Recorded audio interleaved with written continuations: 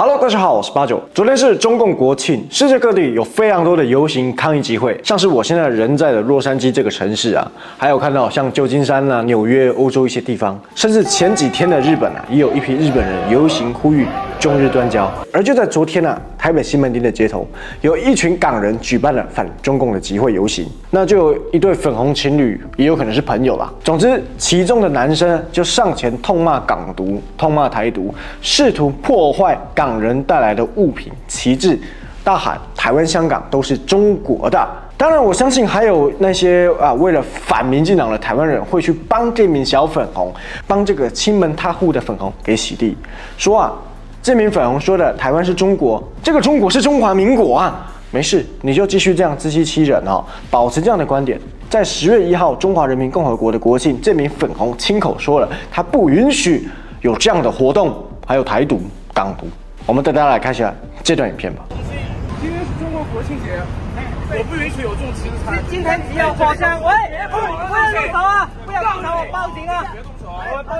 现在是你动手啊！哎，算什么我？你要动人家东西，你先动人家东西。我，我没有在向你离开啊！台湾是台湾的，台湾有表达意见的自由。用这些日不是。这是最珍贵的地方。台湾不是中国一部分。台湾。台湾、香港都是中国的一部分。台湾是台湾人的，香港是香港人的。他们两个，他们两个，他们两个。你们不知道，你们不觉得自由是一个宝贵的说法？你们回去你们的中国，不要来这些民主自由的国家来破坏我们的民主自由。他们就一直在说，哦，台湾也是。中国的香港也是中国的，那甚至是会有台湾的一些民众呢，他们就是说，哦，你们香港为什么在这里？我们今天之所以在这里，就是想要为所有受到中国迫害的人发声。OK，看完这个影片，你还觉得他说的这个中国是中华民国吗？还要继续这样自圆其说，还要这样自欺欺人吗？还要为了反而反，然后去支持小粉红的言论吗？他说了这个中国就是五星旗的中共国，我就觉得蛮可惜的。为什么我都遇不到啊？我这几天在洛杉矶的街头啊。都穿这个都没有遇到粉红，唐人街两个唐人街我都逛了，呃，这个西洛杉矶那边有一带，还有这个尔湾那边也有一带，哇，都没有粉红跟我跟我杠啊，我真的是很痛苦哎。要是我遇到，我就让他先破坏，对吧？你要破坏这个旗帜，哎，你破坏，因为根据我国刑法第三百五十四条，你会被判刑、拘役或罚金。总之不管如何，你一旦被判了，基本就无法再入境台湾了。那这也很可笑，台湾是你们口中的一个省。那一个省，你在这里犯法了，你怎么可能没有理由再来这个省？这个省没有道理可以给你啊一个什么禁止入省书，是吧？比如说你在河南犯了一些错事，你不可能河南政府说你一辈子啊，你三年五年不能再来河南。你小粉跟我说哪一个哪一个中共国的法律？所以我们是同一个国家吗？在这个小粉红破坏完这个旗帜之后呢，你再当他的面烧毁自己购买来的中共国国旗或是党旗。那他肯定会更崩溃，会做出更多过激的行为，然后继续让他加重判刑。注意啊，这是我买的，我当然有权利烧啊。而且台湾不是中华人民共和国的领土，我也可以烧。如果他是一个讲理的粉红，邀请他去总统府前面凯道那边看看，你说这个是行政机关没有错吧？这个行政机关上面的中华民国国旗是青天白日满地红啊。咱不是这个五星红旗，不是这个你祖国你护照上的那一本国旗啊，那怎么办呢？请你拿出刚刚在西门町的气魄，把总统府上面，或是你口中所谓的省长府，或是这个省会府，随便把那个旗帜给拆了，换上五星红旗，照耀台湾大地。他这时候肯定骑虎难下，因为他知道他冲进去他就坐牢，他如果不冲，你也可以把他的。在西门町很霸气的影片，跟他后面变俗烂的影片剪在一起，让他在推特上流传，在 YouTube 上流传，贻笑大方。或者是你可以带他去这个，哎，你说这个台北作为台湾省省会啊，应该是有举办中华人民共和国升旗典礼吧？啊，四川也有，上海也有，北京也有，河南的省会也有，没道理，台湾省没有吧？用事实打脸他是吧？让更多小粉红破防。你要是不爽台独港独，我非常欢迎你呀，购买台独港独的旗帜，自己烧自己拍个片。因为你放在中国的平台上烧台湾的这个旗帜，你其实就已经台独了。不然为什么有些这个你们大作啊！现在我不是说历史的哈，是现在你们一些影片要打码。还有之前郭台铭戴的那个中华民国帽子出现在你们微博转发还要打码，为什么？为什么央视要给他打码？不要跟我拿你个人那种五个人追踪、十个人追踪说，你看我放上去没事啊。我说的是大媒体，所以小粉永远搞不懂什么叫做私人财产。永远听不懂人话，所以要用他们听得懂的话与他们对话。不要跟小粉红讲道理，因为他们懂的道理只有铁拳。他们的世界观没有平等，永远的三六九等。也就是在昨天的美国时间十月一号啊，印象中应该在纽约了啊，在街头有举办这个欢庆中共七十五周年的活动，一群中国大妈披挂上阵，上街游行欢庆。美国警察骑着重机以及警车前后开路，结果啊，这群大妈跟网络上看到的粉红说啥呢？你看这些美国人怂了吧？美国还派警察保护我们，他们肯定是觉得咱们更高大上，所以他们怂了，他们要保护我，们是官员呐。你看，这就是在他们心中没有平等，即便在。自由美利坚生活了二三十年，依然没有平等。他们没有那种哦，原来警察是出来保护我们呢，是保护周边的人，因为不确定我们会做出什么行为，他人会做出什么行为，而且不确定这个路过的人知不知道我们在办游行，这个车子来往都是非常危险的，这个推挤会发生一些事故，所以警察出来维持秩序。他们不懂得这个。好了，既然是这样，也不用这么委屈了。中国强大，放弃你的美国绿卡，护照撕了烧了，永久。不再二度申请恢复，拿中国护照牛逼啊！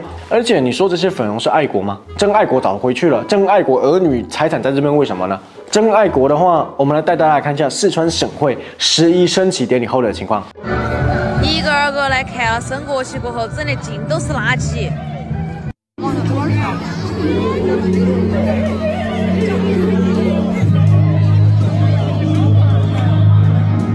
看完这个影片。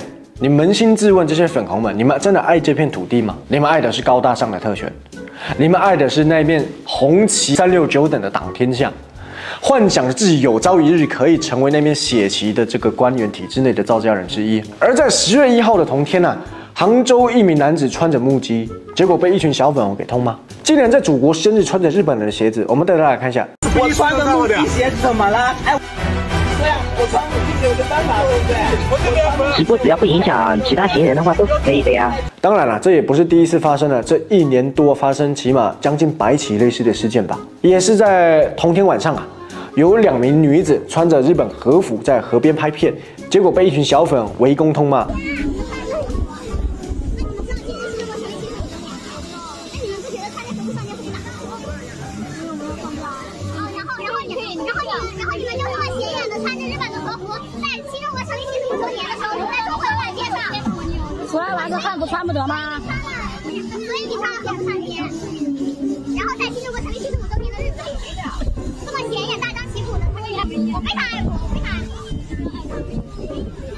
只有我们自己的祖国。我没有说，我没有说你们不行，说真的话你们不会被打吗？你说会被打吗？如果你说会被打，这是我们的自由，我非常爱国，我们只是在。那你可以大声的穿着和服喊出我爱中国吗？我爱中国，可以吗？我就在中国准备。大家还记得今年呐，有一些粉红啊，穿着汉服，还有穿着这个满洲的服装啊，在西门町、在故宫街头拍，哎，没有台湾人去喷他，是吧？但在中国，中国人穿着日本的服装被喷，这已经也不是第一次了，这也不是第十次了，这也不是第一百次了。注意啊，我相信一定有那些没有国际观的灵芝草会偷换概念。把小粉红的行为跟台派画上等号，请注意啊，小粉红是干预他人，希望他人的自我认同这个认知是被消灭的，而台派或是那些港人呐，是坚持自己的理念，没有想要跟中国一起玩，我想要独立自主，我们没有想跟你玩，但你想要我变成你的一部分，这才是问题呀。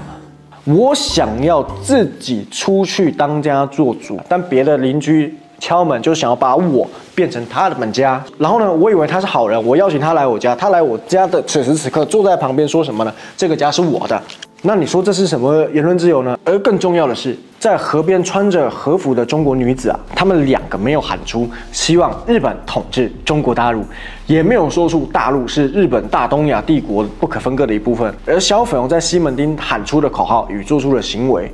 是有的、啊，他这个就是利用言论自由去让你认同，或是用选票选出亲中政党，甚至是绥靖，然后自以为可以和平，结果被掏空，最后达到中共为主的两岸稳统，以后就没有反对中共的言论自由了。所以千万不要再说什么现在的台湾政府也没有给你言论自由，我拜托你，我拜托你啊！如果现在台湾没有言论自由，请你实践一下，比如说像这些港人，还有一些中国反贼啊，拜托啊，我这。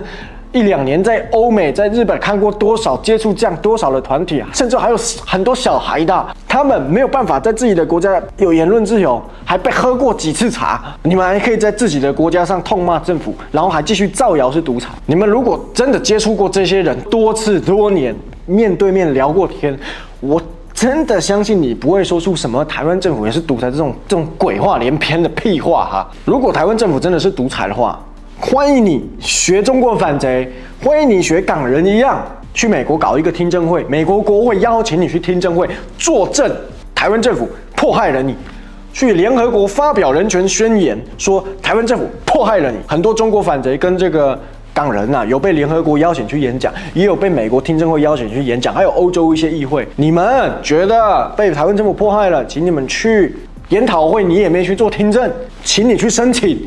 你申请成功了，你在那边诉说台湾政府如何迫害你们，哎，我就认同我们台湾是独裁。你在台湾因为没有言论自由，讲了这些会被逮捕，所以你必须流亡海外，我就认同你，我给你一百个认同，我还帮你助你打倒台湾政府。如果没有的话，不要跟我讲这些屁话。不好意思，我为什么说的这么激动？因为我这一两年我接触到这些迫害的人，这个团体太多了，我见到好多小孩子，还有这个手无缚鸡之力的一些妇女，惜家带眷这样子，老公在入狱，这样带着妻儿。就这样过来了，未尽他人苦啊！你真的不要讲出这些屁话，也不要说什么啊，为什么之前马英九时代没捅？要不是有我们这些在野的反抗，你还真有脸说啊。话说回来，这两名穿着和服的中国女子被公安给带走了。我们马上带大家来看一下这段影片。我刚给他骂了一顿。那个是摄影师吗？对，那个摄影师。当然了，看完这些暖心的故事，影片的最后当然还是可以聊一下，呃，中南海听爽事的部分哈。这次中共的晚宴，大批的元老干部、老人物出场，那这个规模啊，是比去年、前年、大前年来的多得多。以前可能都是穿插啊新旧干部这样坐一块，但现在是老干部大部分坐一桌，而且坐习近平旁边，唯独胡锦涛缺席，这就是一个很大的。政治信号，再加上习近平呐，他也放话要发放中共有史以来最大的民生福利，以及央行下场套 A 股，再加上前中共总理温家宝的高度亮相，坐在习近平旁边，那他代表改革开放的之一是吧？那习近平代表倒行逆施，哎，这两个人坐在一起，这很有可能代表习近平是不是意识到，哎呀，好了，我承认前三五年的经济我搞得一塌糊涂，我转弯了，我部分的妥协了。我看到有些人说是不是鸿门宴？我认为以目前得到的资讯，哈，记住我说目前得到的资讯，几率认为是低的。当然了，如果要搞鸿门宴的话，这个鸿门宴肯定不是这个真的去砰砰砰 S 掉元老。你要搞斗争的话，斗争死的是下面的小将，肯定不是温家宝或是胡锦涛。这个李克强其实排不上元老，所以他 被斗掉理所应当。而且最近我们也看到越来越多的中国大妈跟股民呐在下场套 A 股。那看到这一波，我就知道不出明年过年前呢，这波会狠狠的割掉。你想可以入局的人都入局了，平时不关心中国 A 股，或者是平时没有在玩这些东西、金融的东西的人都已经入局了。该入局的都入局了，那是不是可以割一波了？没有人赔，还怎么赚钱？了解一下中共的。金融或是中国的股市，就是在养套杀，就是在坑杀自己，做空自己最会了。你看哦外商外资没有扩大投资，对吧？那有新产业崛起或进驻吗？呀，也没有啊，这些通通都没有。你你到底 A 股是怎么冲起来的？哎，央行下去玩规避的手法套进去的，没事。小粉哦，你们还应该还有两三个月的时间可以玩一下。今天影片到这结束，喜欢记得订阅我，不喜欢记得一定要把我封锁。我是八号，下见了，拜。